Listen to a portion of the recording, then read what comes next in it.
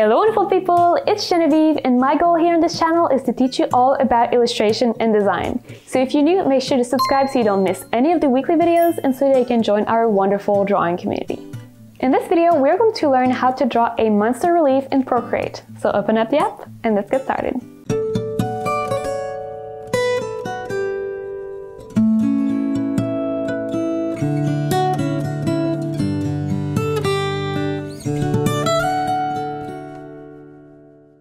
So as usual, the first thing to do after opening up Procreate, of course, is to create a new canvas. And the size of this canvas is totally up to you and it depends on your own project. If you're new to digital art, I have a video about how to pick a canvas size, so you can definitely go ahead and watch this. It will be linked in the description below. Otherwise, these are the dimensions of my canvas just for reference. But I'm gonna be honest, the only reason I'm using this size is because I am drawing in a pre-textured file, as you can see here, that has a watercolor paper texture to it. And that's really, again, the only reason I am using this canvas size. That being said, if you want to check out this pre-textured file it is also linked in the description below, but it is totally optional for this tutorial. No matter which canvas size you're using, go ahead and create a new layer and you're going to rename this layer to sketch. So for this, we're going to start by creating a really quick sketch, nothing too complicated because it's not going to be the final product anyway. And for the sketch, you can pick whichever color you want. I like sketching with a just like a gray. I don't know. But again, you could sketch with a yellow if, if you felt like it. And for this tutorial, I'm always going to be suggesting two different brushes. So one brush is always going to be a free brush that just comes with Procreate, and the other one is going to be from my Ultimate watercolor brushes. And these are going to be just if you want to get a more professional result, so if you really want to bring your art to the next level. If you want to check them out, they will be linked in the description below, and there is always a special promo code just for the YouTube people. So if you don't have the watercolor brushes, you can just go ahead and in the sketching panel, select the HB pencil. Otherwise, you can pick the coloring pencil again that comes with the watercolor brushes. For the sketch, honestly, it really doesn't matter that much. And I'm gonna start by sketching the leaf pointing upwards. I know the example is pointing downwards, but I don't know, it's just easier for me that way. So I highly recommend that you do the same. And for the leaf, honestly, you're gonna draw this rounded triangle shape and then split it down the middle to have this kind of uh, leaf vein in the center. And on the bottom, you're going to draw this inverted V. We're then going to go in and sketch the veins on both sides of our leaf. And you can see here, I'm being really quick, really loose. I have a bunch of lines all over the place and I'm not erasing. And I encourage you to do the same because this sketch, like I was saying, is not going to be in the final result anyway. So just map out roughly your illustration and that's going to be more than enough, trust me. Now we're going to turn this leaf into a monstera and to do that we need to add fenestration on the leaf, so kind of the Swiss cheese feel of it. so on all our vein, we're actually going to go and draw these open shapes. There's no rule on how they need to be open. Uh, it depends on one leaf to the other, on one type of monstera to the other as well. But what I quite like to do is kind of have some fully open spots and some spots where the end kind of overlap. And I'm not sure that makes a whole lot of sense what I'm saying right now, but you can see here really well in the example, um, the two ends of the opening leaf um, are getting on top of each other basically.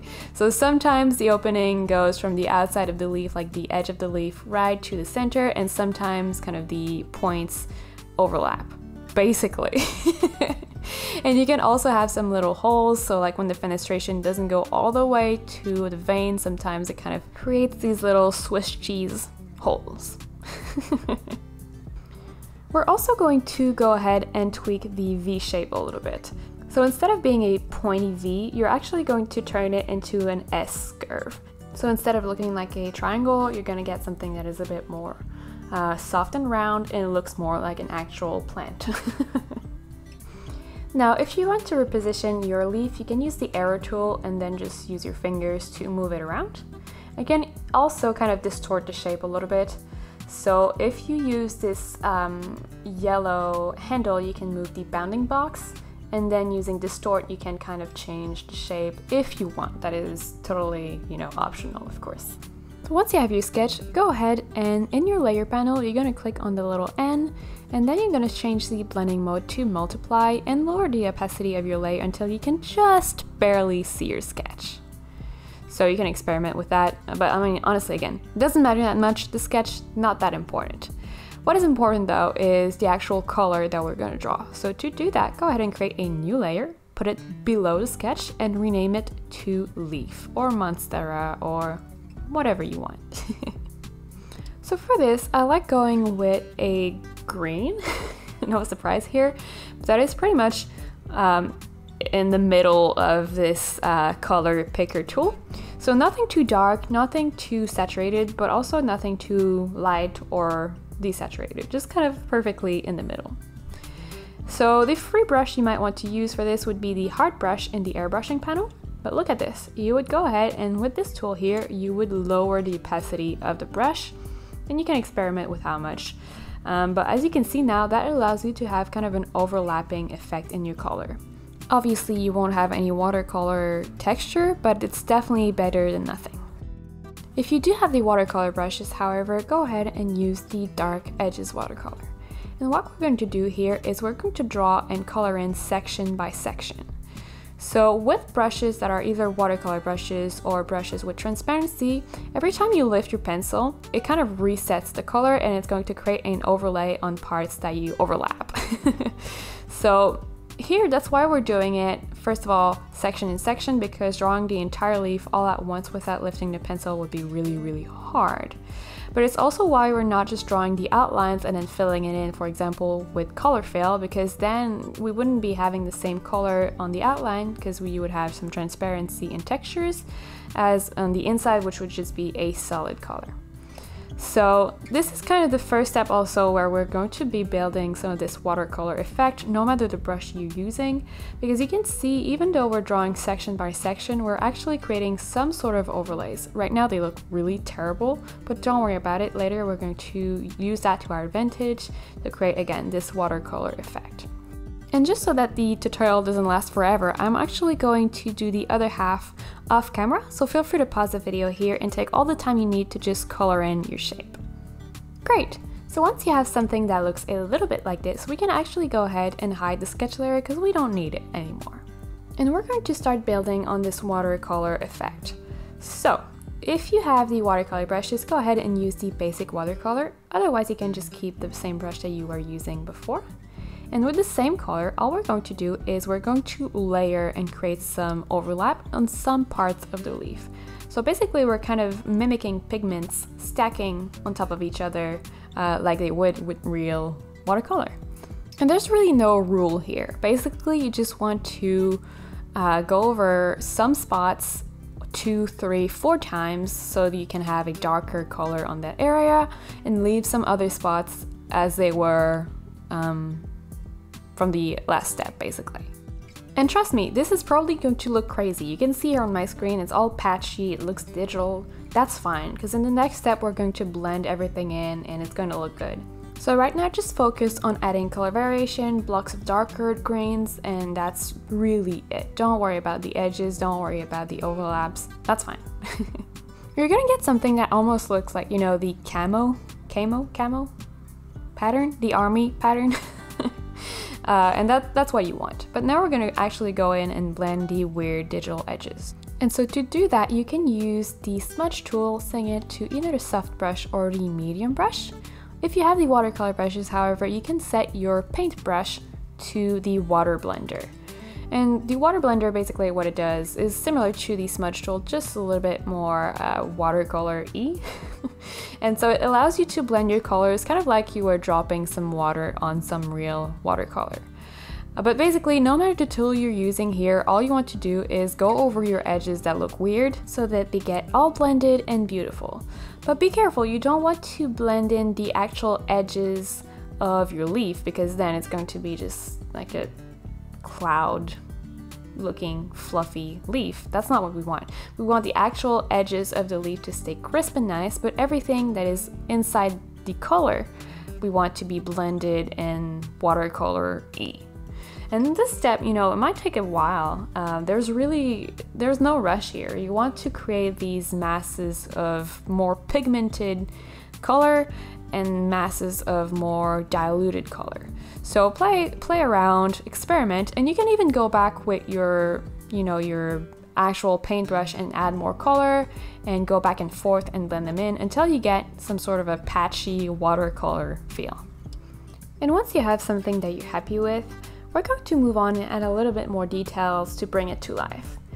The first details we're going to add are actually details we've been talking about from the start, so the veins. And to draw the veins, you actually want them to be lighter than the leaf. But watercolor brushes or brushes that have a transparency to them don't do super well with white. So what I like to do is just create a mask and selecting the mask, also selecting my eraser. Now you see everything that you erase on this mask is gonna look white, but you can also see that it is not actually erasing the actual leaf color. So that's a nice way of preserving the work you've done so far is to kind of erasing on a mask to make sure that you don't lose all your hard work. And with your mask in place, you're just going to go in and erase the veins. So starting with the middle one, and then going in and drawing the secondary one, I guess. and to do that, you don't want them to be perfectly straight. As you can see here, you're going to start in a curve that's going to go upwards. So something a little bit like this. And really, you're just going to do that all over your leaf. Now guys, if you've watched this far in the video, please go ahead and comment the word leaf below. I know it sounds crazy, but it gives me a lot of insight into how to edit and pace my videos better, which in turns help me create better tutorials for you. And it's also really cool because you guys know me, but I don't know you. So whenever you leave a comment, I get to see either your username or your real name, or sometimes even a picture, and it's just really great to see the wonderful drawing community that we're building here on this channel. So go ahead and comment the word leaf and we'll keep going. One little pro tip for you, when you have all your little veins like this, you can kind of zoom in and add a little bit more thickness in the area where the veins connect with kind of the center of the leaf. That's just going to make everything look a little bit better and it's super easy. Another super easy thing that's going to help make everything better is adding some color variation because right now our leaf is super flat.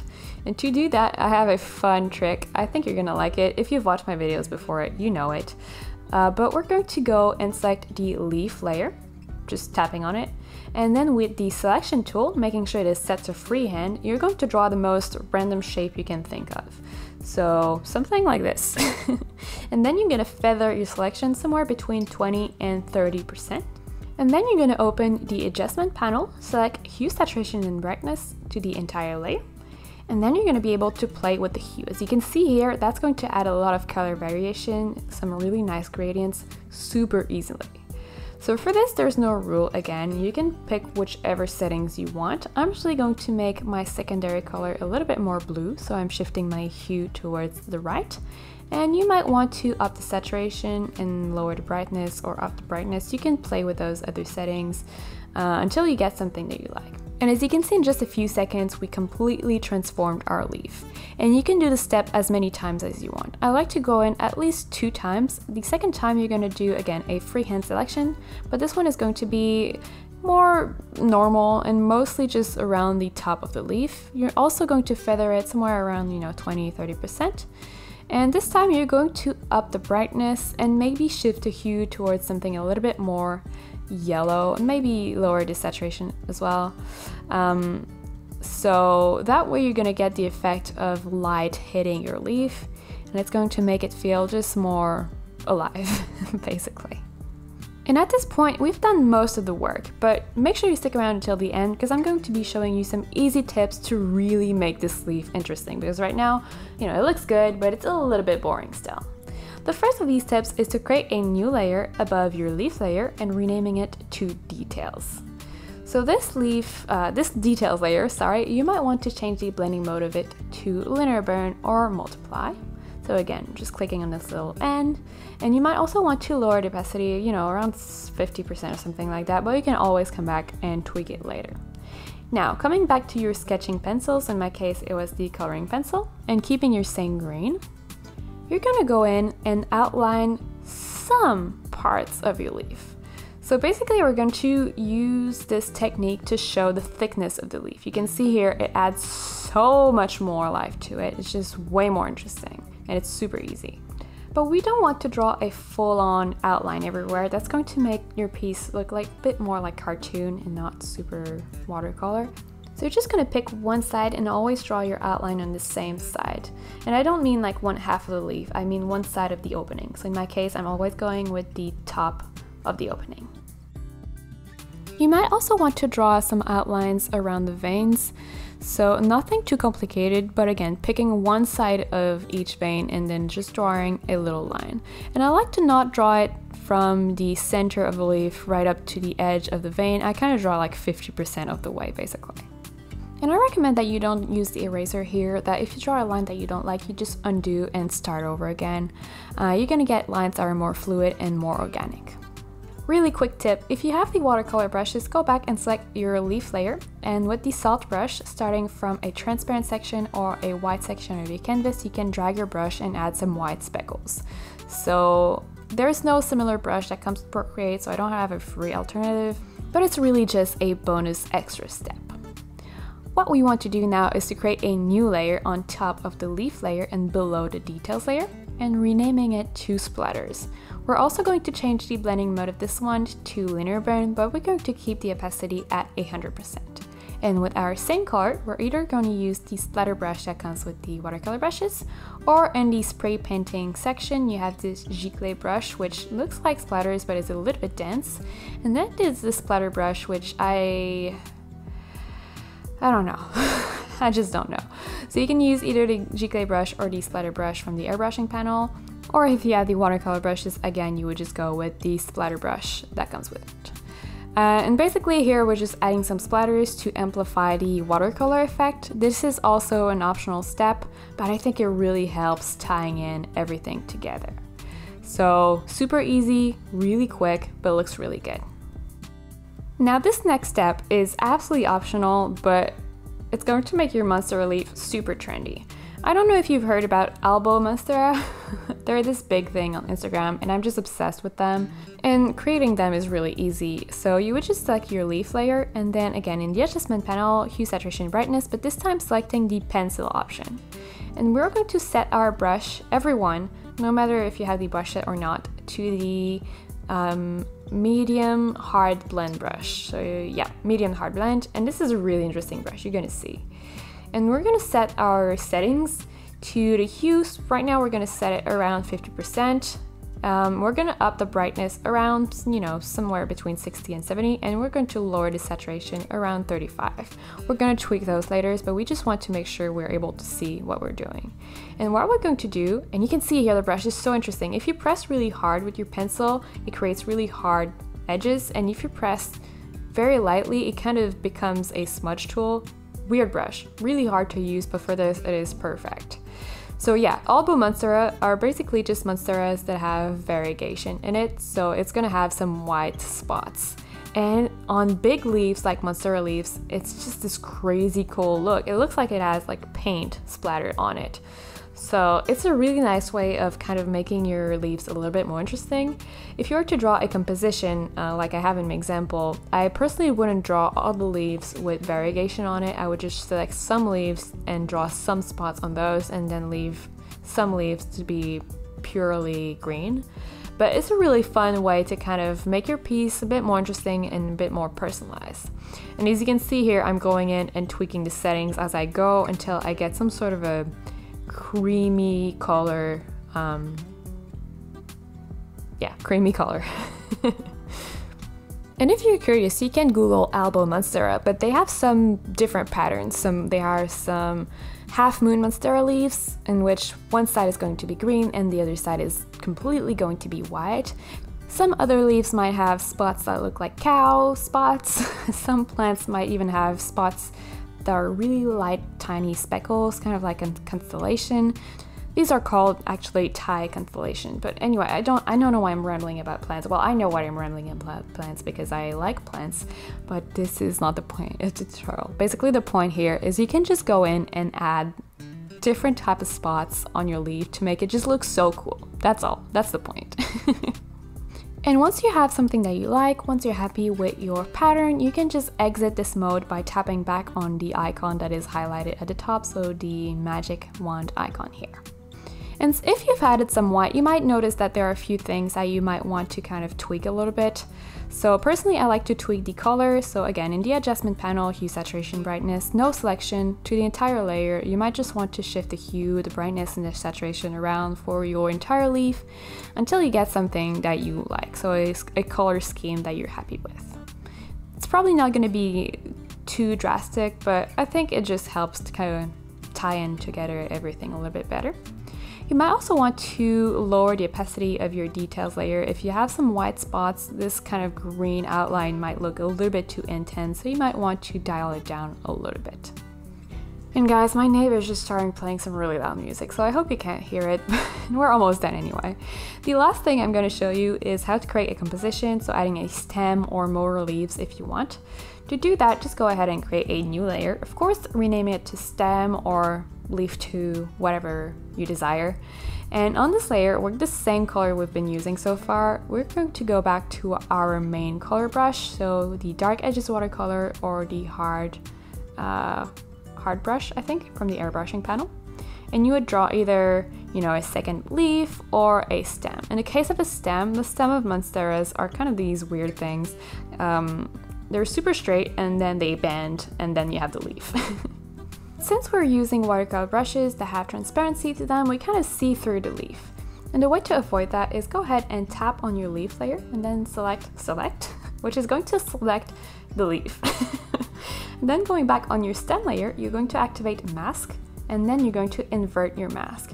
So basically it's creating a mask on the stem layer which has the leaf on it so it's basically erasing the leaf on the stem layer, kind of like what we did uh, when we were drawing the veins on the leaf itself. So you could use the same technique on leaves uh, to create kind of a full Monstera plant. So there you go, this was how to paint a watercolor Monstera leaf in Procreate. I really hope you enjoyed this video and if you did, please go ahead and give it a thumbs up because believe it or not, it really does help the channel. It helps me, it helps the algorithm, it helps everything. And I would absolutely love to see what you guys create, so make sure to share the results with me either on Facebook, Instagram, or Twitter. And before you leave, don't forget to subscribe because I put out new videos just like this one every single week. I'll see you soon.